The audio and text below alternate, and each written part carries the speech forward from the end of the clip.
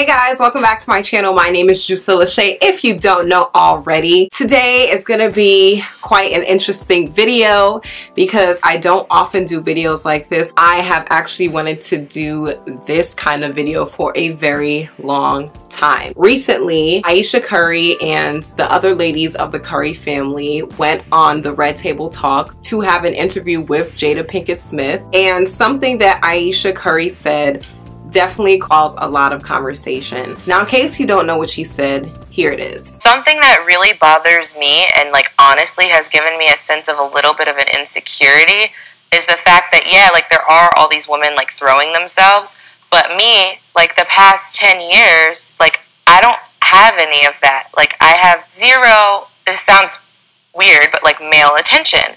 And so then, you like, I begin to internalize it, and I'm like, is something wrong with you're me? Not, like, you're not looking. What? You're not like, because of this comment, a lot of people had a lot to say. This conversation of insecurity needs to happen. Insecurity is something that a lot of people deal with, and insecurity is not only shown through feeling less than with physical appearance. Sometimes people can feel insecure about their socioeconomic background, their age, where they are in life, and that pressure of having to be somewhere else. It really is a mental, physical, emotional, and spiritual thing to feel less than, to feel insecure, to feel like you're not matching up. It's something that I have dealt with in the past. And even as an adult, I felt insecure about certain things. I give props to Ayesha for being vulnerable. And it's unfortunate that as a celebrity, it comes with a lot of commentary, good and bad. I just want to take this time to really unpack what she said. So that's what we're gonna be doing today. We're gonna be having a little chit chat, okay, while I get ready. I'm just gonna be doing my go-to makeup look and chatting with you guys. And instead of me stopping the video every time I put on a new product, I'm just gonna write it down below so that I don't have to keep stopping the video to tell you guys what I'm putting on my face. So we're about to get started, but you already know what you gotta do, right? Do not forget to subscribe and help your girl out. And don't forget to also turn on your bell notifications so that you will always be up to date on my newest uploads. All right, guys let's talk. When I first heard what Ayesha said, I genuinely was really confused about why people were almost offended by what she said. I decided I was gonna take notes on what people said. I was also going to take notes on what I learned. So let me get my notes, let me get my notes.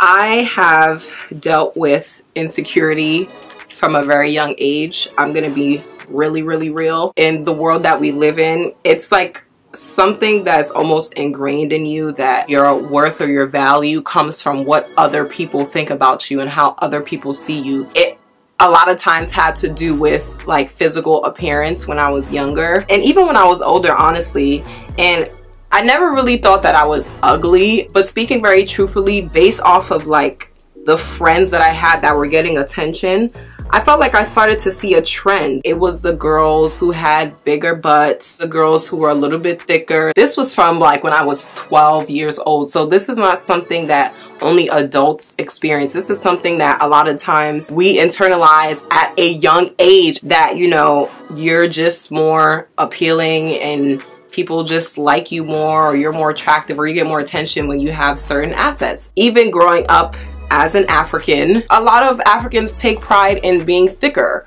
And a lot of African women, especially, are naturally thicker. So when you're like that one woman in your family who's like not thick like at all. It's kind of like a, a pressure to gain weight. Of course, you're gonna feel like in your own body that there is something wrong or you're going to start to feel like you need to change because people keep saying that you need to gain weight or oh Shay Shay she doesn't have a butt or oh this like even though a lot of times too in African culture that's kind of how it is like insulting people is kind of like the culture which I'm not going to get into that. That's a whole different conversation. But even though it's said in almost like a jokey way, when you hear it like for long periods of time from a lot of people, it definitely starts to naturally become something that you internalize. And I was speaking to my friend about it too. She's Dominican and she said that that's also a thing in her culture too, where insulting people is like how they joke around. Sometimes it's not okay because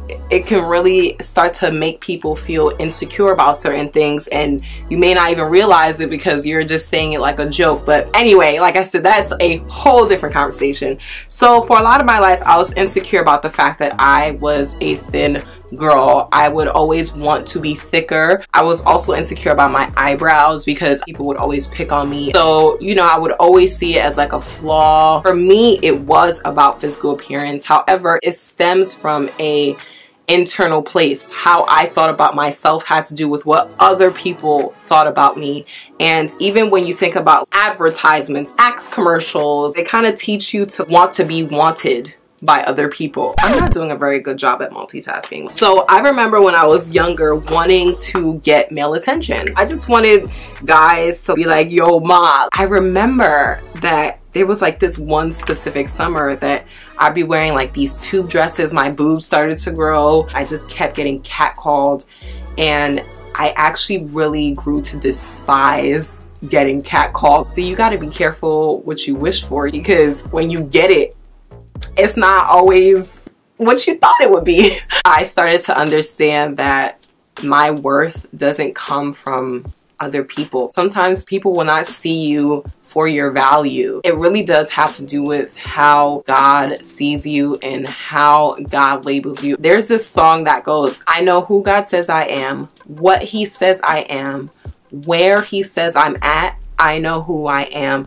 So it's just the concept of if you know what God made you to be, who God made you to be, and where He has placed you, then you have a security in who you are yourself. But that's easier said than done. In society, we struggle with like an identity crisis because we don't really know who we are outside of like what people label us to be. So the first thing that I realized that people were saying and responding to about Ayesha's comment was that she should not feel like she needs to be validated outside of her marriage. People were pretty much saying that Ayesha's validation should come from her husband. I actually don't think that that should be the case. I believe that validation shouldn't come from man in general, man, woman, human. I think that validation has a lot to do with yourself and God. If you place your validation in another person and God forbid that person decides that they don't want to be in your life anymore for whatever reason. When they leave, your validation leaves with that person. Honestly, I'm not faulting Ayesha because I feel like it's a very common thing to feel, especially in the world of social media. A lot of people place their worth in how much likes am I getting. And trust me, I'm not speaking as someone who has got it all figured out because I don't. This is what I'm trying to reach. If you genuinely know who you are, nothing and no one can tell you any differently. Because a lot of this mindset even starts from a young age, it kind of just like carries on. When it comes to who you are, it has a lot to do with who God has called you to be. What has He called you to do. And I pray about that all the time because, like I said, insecurity is something that I have struggled with, and it's more of an internal growth that needs to happen. Ayesha also commented about this in an Instagram post after the Red Table Talk. She made mention of the fact that she was speaking her truth, and as a mother of three kids, this is something that a lot of mothers go through. I'm not a mom yet, but I can see why. You know, a lot of mothers go through this because when you become a mom, your body changes, who you are changes, and sometimes it almost feels like your identity is wrapped up in your kids. Um, like I said, I'm not a mom, but I've definitely heard moms say this. So another thing that I learned from interview is that it is true that comparison is the thief of joy. As you can see in Ayesha's response, what she was doing was comparing how much attention her husband was getting to the attention that she was getting. They didn't quite match up. I think what we also need to clarify, I guess, is how men show their interest compared to women. So there are a lot of groupie women out there. I'm not saying they aren't groupie men, but they will show up to the games with really revealing outfits with the intention of getting, you know, a basketball player's attention. And there are women who will go to the extremes to get the attention of a basketball player. What I think is important to point out is that in this society, the life of a basketball girlfriend or basketball wife or just being the partner to an athlete is glamorized. It's romanticized. And I mean, you even have the show called Basketball Wives. They have a whole show about it. And I mean, it really is not as glamorous as it seems. But the industry that Ayesha's in, which is like cooking, lifestyle, home life, mom life, that's not romanticized. So because the life of an athlete and being the spouse of an athlete is a little bit more romanticized, there is that environment where, you know, there are people literally throwing themselves at, you know, athletes. So it kind of sets that tone and sets that environment where like this is the kind of thing that happens. But when it comes to lifestyle and cooking, it's not really the profession or the environment where it invites, you know, that kind of aggressive um, flirting. You're probably not going to see a man in just an apron sitting there like, hey, you know what I'm saying? Like you see Basketball Wives, the show, you don't see like chef spouses, chef husbands. So you're not going to see attention presented in the same way. The lifestyle profession is way more family friendly, home friendly, kid friendly. Do I believe that men still hit on Ayesha? Absolutely, because I think that she's beautiful and I think people probably slide into her DMs. She probably doesn't read them. But I think men also are even a little less aggressive in certain environments than women are. I really think it's an environmental thing. Like, I really believe that if Ayesha decided she wanted to go to the club, she would be hit on by guys. I'm sure a lot of men believe that she's beautiful. And a lot of people also mention the fact that she is married to someone who's highly respected in his industry. And so a lot of men, because they respect Steph Curry, are probably not going to try to get at his girl because they respect him. And I do think that there is some truth to that. Something that I find interesting about people's commentary to Ayesha is that people are pretty much saying that she's not allowed to feel this way because she has this loving husband and this wonderful, you know, looking family. People have this idea that you have it all. So what's your issue? And I don't think that that's fair to project on her. People who are successful, a lot of people who are in marriages deal with issues still. A lot of people who are married or are in relationships commented and kind of brought it back to their own marriages saying, I would never look for validation outside my marriage. How can I feel insecure when, you know, I have a husband who's like this and who's like that. But one thing that we have to distinguish is there's a difference between your relationship and someone else's relationship. We also have to bring in the context that he is a very popular, successful, well-known basketball player. It's a different kind of pressure that she's dealing with. It's not fair to put the standards of your relationship on someone else's relationship. A lot of people are quick to point the finger and judge and they say that you're not allowed to feel this way and this is why. This is why people actually end up keeping these challenges and these insecurities to themselves instead of judging, instead of pointing the finger, instead of invalidating her feelings, we should acknowledge that, okay, this is how you feel.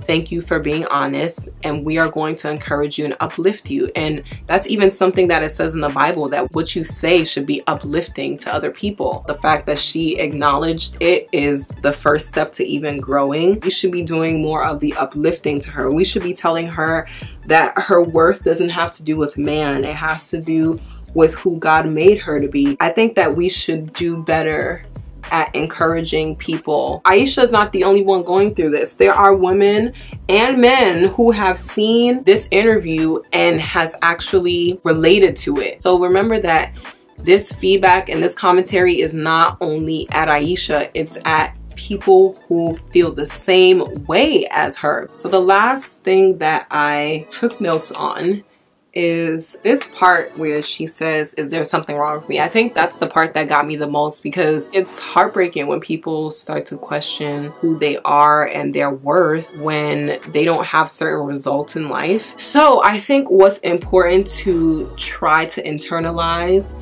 is that our worth does not come from outward things, things that will one day perish. Who you are is who God has called you to be. I pray about these things because wherever I'm weak, God is strong. So wherever I feel like I'm falling short, I'm like, Lord, please, like, just help me. Remind me of who I am, Holy Spirit. Like, I pray these things and they work because there's nothing like too little that you can lift up in prayer. If there's something that you're struggling with, if you feel like there's an insecurity, pray about it. All right, guys, I am done with this makeup look. Before I fully end this video, I just want to remind you all that you are fearfully and wonderfully made. I want you to know that your worth and your value does not come from man. It is what God thinks that matters. If you want to know more about what he thinks, it's in his word. You'll learn obviously way more about God and you learn actually way more about yourself than you think. I open up the floor for you guys. Let me know your thoughts. Let's make this a conversation because